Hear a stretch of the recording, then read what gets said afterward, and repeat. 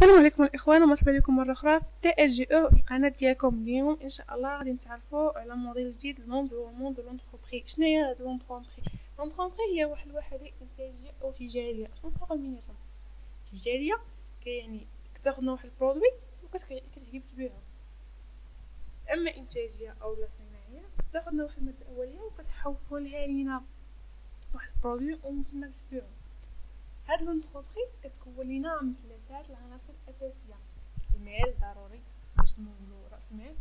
يد العامله اللي غادي يخدموا عندنا ثم ال marché واضح. كتقدم لينا هاد l'entreprise bien ou service شنو الفرق بيناتهم يا إما واحد الخدمة يعني ال service. كيفاش هاد الخدمة؟ هاد الخدمة بحال مثلا الانترنت الإنترنت غير ملموس اذا هو عبارة عن خدمة. ممكن تاخد واحد الطاكسي بواحد الثمن معين. أنت خديتي خدمه ندير التنقل. ما خديتيش الطاكسي ما الدار بينما bien شي حاجة ملموسه سلعة ملموسه بحال كتشري مثلا جلابة ولا سباط ولا شي حاجة بحال هكا. المهم les biens ولا service شنو الهدف منها؟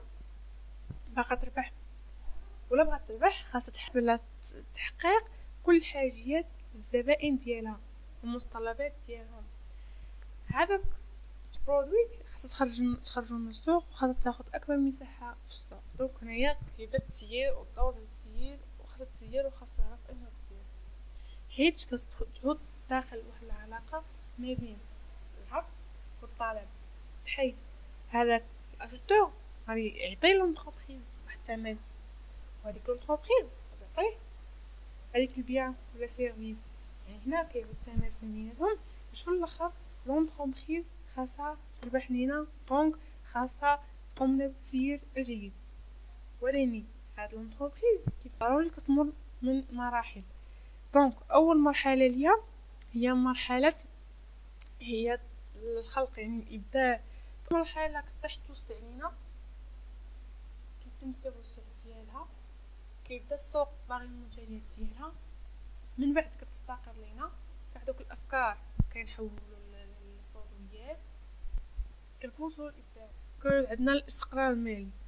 ولكن في المرحلة الرابعة. صافي كتحبس لينا. من بعد؟ كيبداو.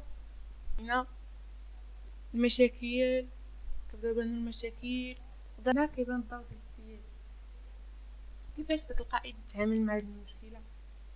باش من بعد في المرحلة الثالثه خاصنا نوصلو إعادة تعريف المؤسسه نعيقبو نعرفو المؤسسة ديالنا. نديرو تنظيم مالي بحث مثلا على أسهم جديدة. باش عشرة قيمة إلى آخره. دونك كاين ستة ديال مراحل